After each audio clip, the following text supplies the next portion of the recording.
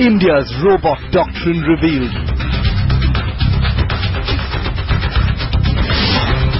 In 10 years, the army will raise a robot army. Robots to conduct half of all operations.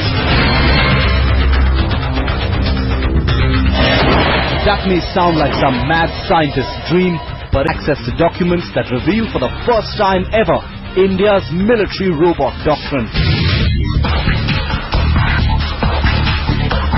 Document listing out the 16 classified programs currently underway to give India an army of robot soldiers built for operations across the board, robots that will allow soldiers to stay out of harm's way wherever possible. We have the IED handling robo. We have a robo which, which has a AGL launcher that is grenade launcher and a uh, LMG mounted on it. We have another one which is a smaller one which can go into the aisle of an aircraft and into the bogies, uh, AC bogies of a train and diffuse IEDs. I- I'm sure uh, this will go a long way in saving uh, limbs and lives of uh, many soldiers on the front who handle the unexploded devices.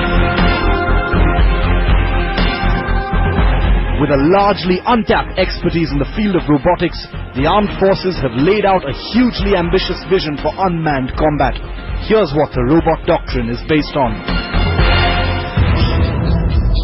India's armed forces are too large and unwieldy. The way forward is to streamline human strength and induct more machines. With the possibility of an all-out conventional war quite remote, India can relegate most tasks to unmanned systems. The threats India faces now are asymmetric and unconventional, from militants and terrorists. Why put human life at risk when a robot can get the job done faster and more effectively? It's no secret that Indian scientists have been laboring on robots for years.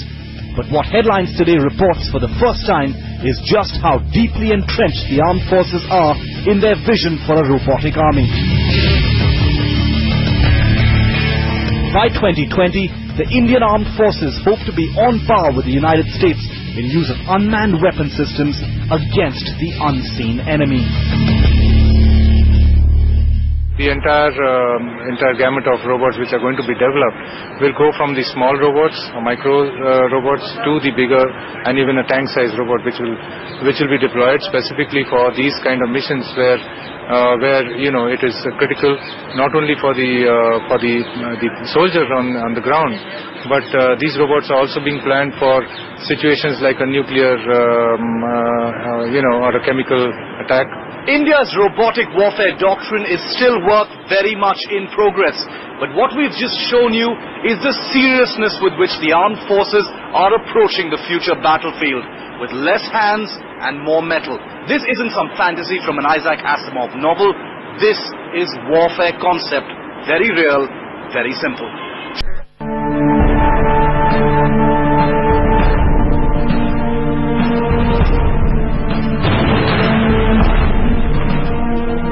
A deadly blast is all in a day's work for this machine. This is Daksh, India's first robot soldier. Rugged, hard as nails, and built for that most dangerous of anti-terror duties. Handling and disposal of improvised explosive devices. In six months, the Indian Army will have its first 20 Daksh robots for operations in the Kashmir Valley.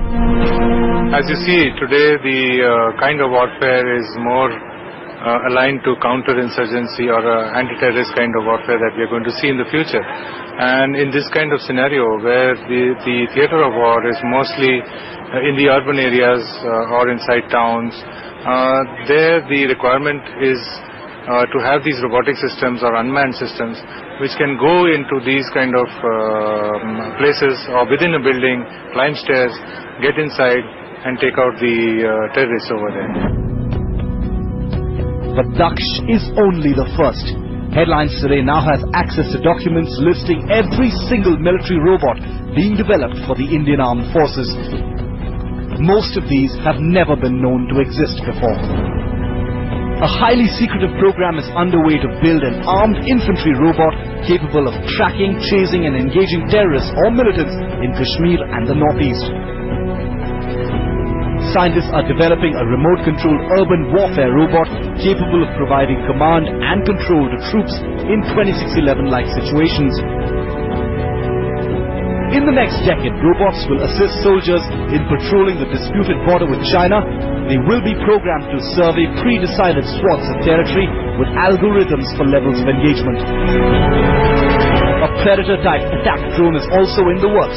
By 2015, India will test its first unmanned combat aerial vehicle by remotely launching precision-guided ground weapons. One of the most dramatic programs in development is an autonomous robotic boat capable of engaging and sinking suspect vessels and pirate ships. Another critical program is building a miniature unmanned submarine vehicle for nearshore and coastal patrol, mine detection and early warning in battlefield situations. Uh, we already are seeing a lot of uh, plethora of such platforms in the Indian Army as well as armies abroad and wherein a lot of uh, these uh, dangerous tasks or tasks which involve loss of life uh, in normal uh, situations are being outsourced or let's say are being done by the robotic platforms and I'm sure it will be uh, after 10 to 15 years we'll find uh, a good about good amount of tasks being done by these robots. There are 10 other programs, but some of them are too secretive to even talk about, as they involve controversial directed energy weapons and the handling of nuclear materials.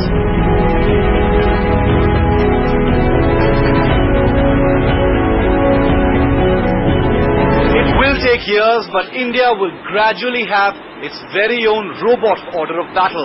Robots for every conceivable act of offense and defense. Robots that will keep Indian soldiers and the country that much safer.